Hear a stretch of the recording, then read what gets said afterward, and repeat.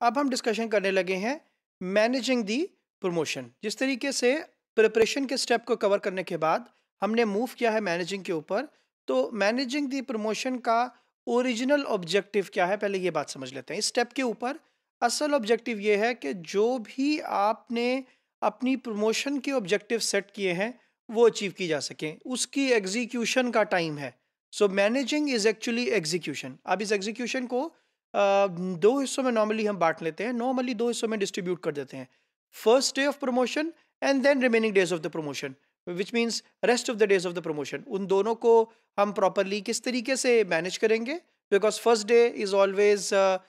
more impactful on the customer customer बिल्कुल नया नया उसके लिए प्रमोशन होती है तो हो सकता है मोर कस्टमर फ्लो हो uh, बहुत ज़्यादा विजिट्स हो बहुत ज़्यादा कस्टमर इंक्वायरीज हो तो फ़र्स्ट डे को सेपरेटली मैनेज किया जाता है और रिमेनिंग डेज़ को ऊपर एक सेपरेट स्ट्रैटेजी रखी जाती है। तो आपने while managing the promotion you need to see all my objective of the promotion are met and ultimately objective ये है कि सेल्स जनरेट हो सके टर्नओवर जनरेट हो सके कस्टमर सेटिस्फाई हो सके और रिटेलर अपने लिए मार्जिन कस्टमर लॉयल्टी इस तरह की सारी चीज़ें अर्न कर सके जो कि उसका अल्टीमेटली ऑब्जेक्टिव है। सो so, जब हम इसको डिस्कशन करते हैं तो ये आता है कि you need to master all complex activities during a promotion period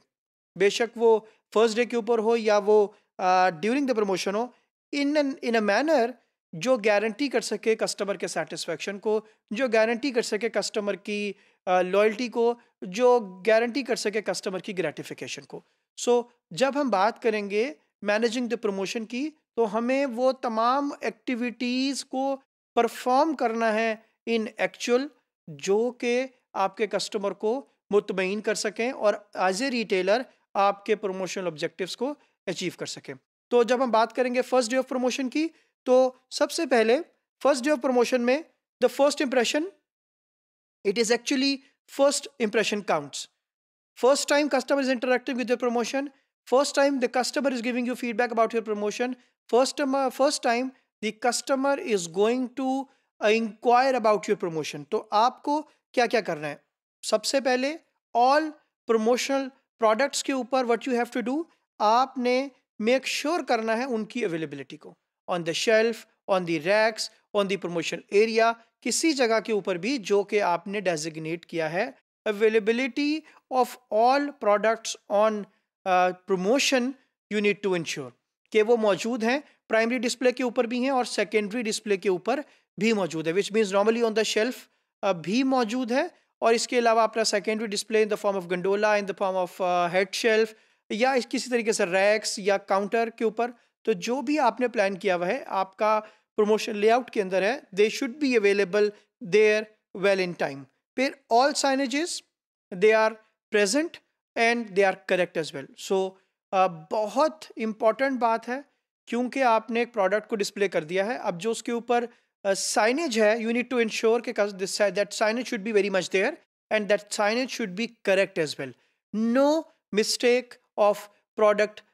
features no mistake of pricing और नॉट एनी अदर मिस्टेक जो कि जिससे कस्टमर जो है वो अनॉयड हो और आपका original objective of product selling of promotion वो डिस्ट्रॉय हो जाए। तो फिर उसके बाद पावरफुल प्रेजेंटेशन के कॉन्सेप्ट के ऊपर आपने काम करना है मैस मर्चेंडाइजिंग के कॉन्सेप्ट के ऊपर काम करना है। ऑब्जेक्टिव uh, ये है कि जितनी मैसिफिकेशन क्रिएट कर सकेंगे जितना बल्क डिस्प्ले क्रिएट कर सकेंगे उतना ज़्यादा कस्टमर अट्रैक्टेड होगा आपकी ऑफर्स के ऊपर आपकी प्रमोशन के ऊपर और उसको जो फीलिंग आएगी वो ये आएगी कि now this is something big which is coming तो आप कई प्रोडक्ट सेल्स को ये बहुत इंकरेज करता है मैस मर्चेंडाइजिंग और ऑफ़ कोर्स इसका रिजल्ट्स भी बहुत ज़्यादा पॉजिटिव ऑब्ज़र्व किए गए हैं तमाम रिटेल स्टोर्स की प्रैक्टिसेस के अंदर कि if the product has been displayed in a mass merchandising format ultimately the results are always high results are always big फिर यू टू इंश्योर के सफिशेंट स्टाफ अवेलेबल है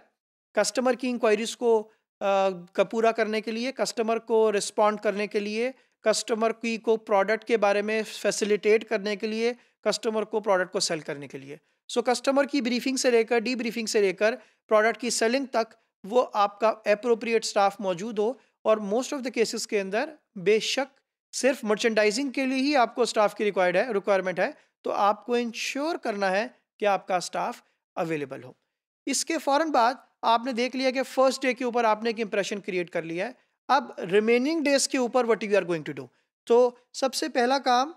जो आप रिमेनिंग डेज़ के अंदर करते हैं that you need to maintain the standard जो आपने पहले दिन सेट किया था, और you need to increase that standard so जो भी आपने क्वालिटी का स्टैंडर्ड जो भी आपने प्रोडक्ट का स्टैंडर्ड जो भी आपने सर्विसेज़ का स्टैंडर्ड सेट किया है, आपको इंश्योर करना है कि मैं उस स्टैंडर्ड को हाई रखूँ, उस स्टैंडर्ड को मेंटेन रखूँ ताकि कस्टमर जो है बेशक वो फ़र्स्ट डे आए या बेशक वो remaining days of the promotion में आए, उसको कोई भी डिफरेंस फील ना हो। और इमेजिन एक कस्टमर फ़र्स्ट डे आता है और फिर एक customer same customer fourth day आता है, उसको किसी भी तरह की प्रोडक्ट की क्वालिटी की सर्विसेज़ की आफ्टर सेल सर्विसेज़ की किसी भी तरह से उसको डिफरेंस नहीं आना चाहिए। उसको सेम स्टैंडर्ड्स फील होने चाहिए। उसको सेम सेटिस्फेक्शन फील होनी चाहिए ताकि, और ये रिटेलर को इंश्योर करना है कि इन दोनों के दरमियान कोई भी गैप ना आए। सो so, चेक करना है डेली आपको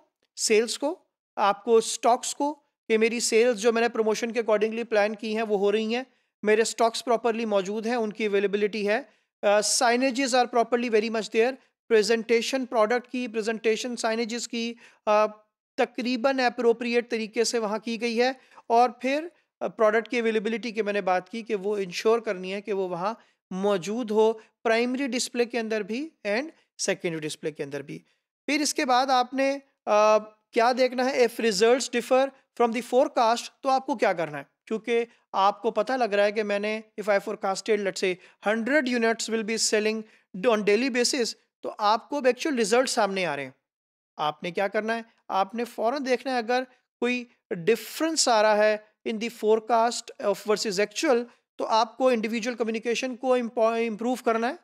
फिर आपको ये देखना है, कहीं कोई गैप्स तो नहीं आ रहे आर्टिकल के अंदर? Let's say the stocks has to be there लेकिन स्टॉक वहाँ मौजूद नहीं है। उन गैप्स को देखना है गैप्स को इम्प्रूव करना है शेल्फ की अवेलेबिलिटी को इम्प्रूव करना है रिप्लानिशमेंट के ऊपर फोकस करना है, और अगर कोई ओपन ऑर्डर्स है, उनका फॉलोअप करना है। ओपन ऑर्डर्स का मतलब ये है कि अगर स्टिल देर आर ऑर्डर्स जो कि सप्लायर ने डिलीवर्ड करने थे और वो अभी तक डिलीवर नहीं हुए तो और इसके अलावा भी अगर मज़ीद रिप्लाई ऑर्डर करने की ज़रूरत है तो you need to make immediately place order and then follow up accordingly तो सेकेंड स्टेज के अंदर सेकेंड स्टेप के अंदर आपको प्रमोशन को मैनेज करना है। इसके अंदर वो तमाम सेट ऑफ़